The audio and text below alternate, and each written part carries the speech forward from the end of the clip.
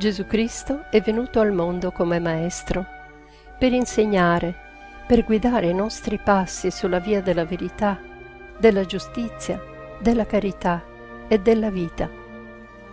Perché qualsiasi altro cammino che non sia quello tracciato da Lui è un cammino che porta alla morte eterna. In quel tempo vennero a Gesù da Gerusalemme alcuni farisei e alcuni scribi e gli dissero perché i tuoi discepoli trasgrediscono la tradizione degli antichi, poiché non si lavano le mani quando prendono cibo. Ed egli rispose loro, perché voi trasgredite il comandamento di Dio in nome della vostra tradizione? Dio ha detto, onora il padre e la madre. E inoltre, chi maledice il padre e la madre sia messo a morte.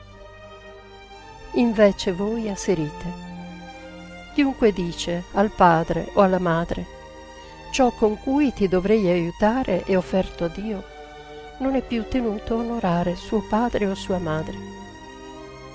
Così avete annullato la parola di Dio in nome della vostra tradizione. Ipocriti. Bene ha profetato di voi Isaia dicendo, questo popolo mi onora con le labbra, ma il suo cuore è lontano da me.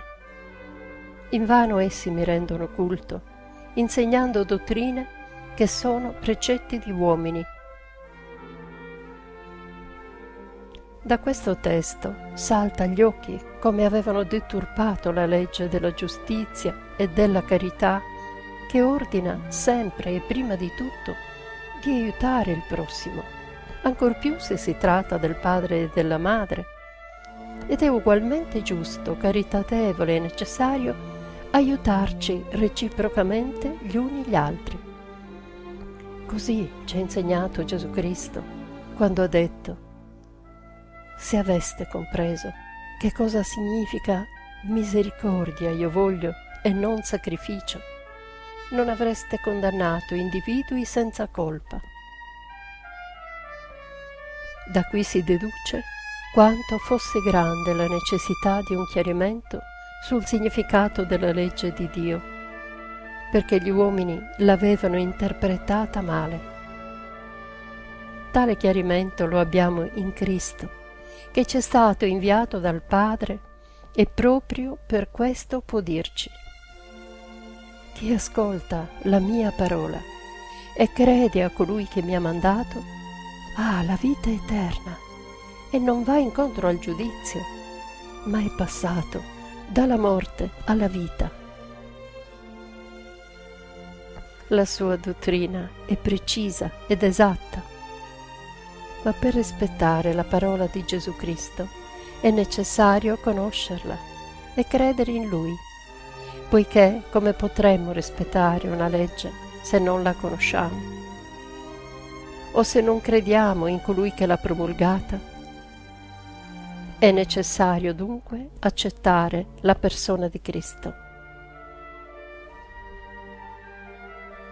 Nel mondo purtroppo c'è molta gente che si ritiene istruita, ma delle leggi di Dio sa poco o niente il peggio è che spesso la gente le contesta, non perché le conosce bene, ma perché in esse vede un argine alle proprie passioni disordinate, alla mancanza di giustizia e di carità. Eppure le leggi di Dio sono ciò che dovremmo essere più interessati a conoscere, poiché è per loro tramite che saremo salvi o dannati. Vi sono altri che conoscono le leggi di Dio, ma ne danno un'interpretazione errata, opposta al senso di Cristo, credendo in questo modo di giustificare le discrepanze della propria condotta.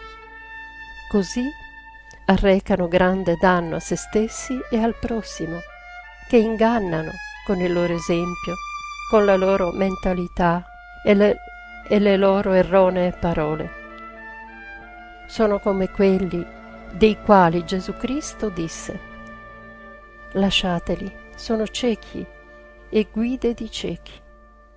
E quando un cieco guida un altro cieco, tutti e due cadranno in un fosso. Dobbiamo dunque stare attenti a costoro, secondo la regola che ci ha dato Gesù Cristo. Possiamo conoscerli dalle loro stesse opere. Non c'è albero buono che faccia frutti cattivi, né albero cattivo che faccia frutti buoni. Ogni albero, infatti, si riconosce dal suo frutto non si raccolgono fichi dalle spine, né si vendemmia uva da un rovo. L'uomo buono trae fuori il bene dal buon tesoro del suo cuore. L'uomo cattivo dal suo cattivo tesoro trae fuori il male, perché la bocca parla dalla pienezza del cuore. Questa è la regola di orientamento che ci ha lasciato Gesù Cristo. Guardare alle opere di coloro che si presentano come guide sulle strade della vita, vedere se sono d'accordo con gli insegnamenti della Chiesa di Dio, fondata da Cristo. L'unica vera che possiede il dono dell'infallibilità, del riconoscimento e nella dichiarazione della verità di Cristo con l'assistenza dello Spirito Santo. Io pregherò il Padre ed egli vi darà un altro consolatore, perché rimanga con voi per sempre. Lo Spirito di verità che il mondo non può ricevere perché non lo vede e non lo conosce.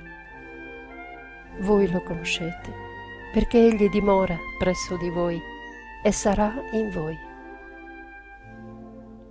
questa promessa di Gesù Cristo, fatta alla sua Chiesa, ci dà la certezza assoluta nei sentieri della fede che dobbiamo percorrere e sono tracciati per noi dalla Chiesa di Cristo, perché questa è guidata dallo Spirito Santo.